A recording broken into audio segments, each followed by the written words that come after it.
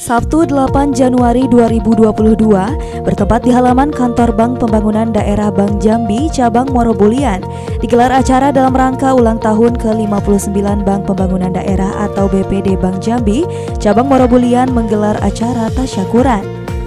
Acara yang dimulai dari upacara bendera ini menjadi awal dimulainya pembukaan acara tersebut.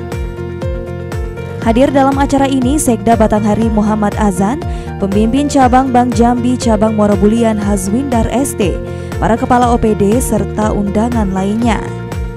Dalam acara tersebut, Bank Jambi cabang Morobulian memberikan bantuan kepada pesantren dan pelaku usaha sebagai wujud dari kepedulian Bank Jambi terhadap masyarakat Batanghari. Usai memberikan bantuan yang dilakukan secara simbolis oleh Sekda Batanghari dan pemimpin cabang Bank Jambi cabang Morobulian, para tamu undangan langsung berkumpul untuk memotong pita sebagai tanda dimulainya acara tasyakuran tersebut.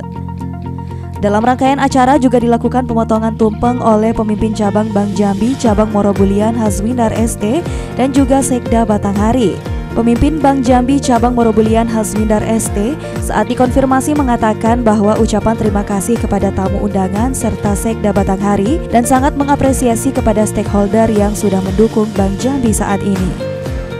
Dikatakan Hazwindar bahwa Bank Jambi saat ini sudah menjadi bank yang sehat dan solid serta mendapatkan kepercayaan penuh oleh masyarakat dan di tahun 2022 tetap menjaga silaturahmi agar terus berlanjut.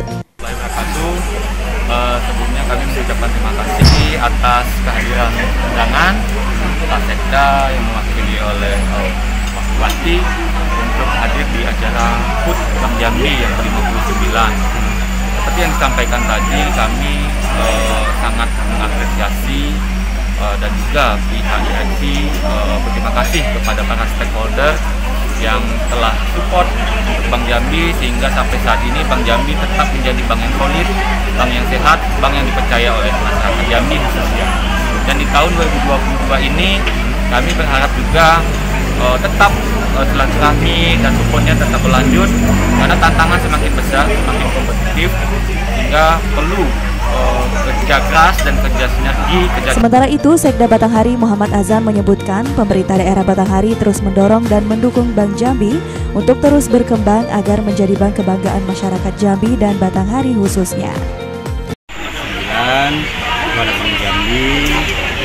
Semoga ke depan ke depannya Bank Jambi tetap jaya.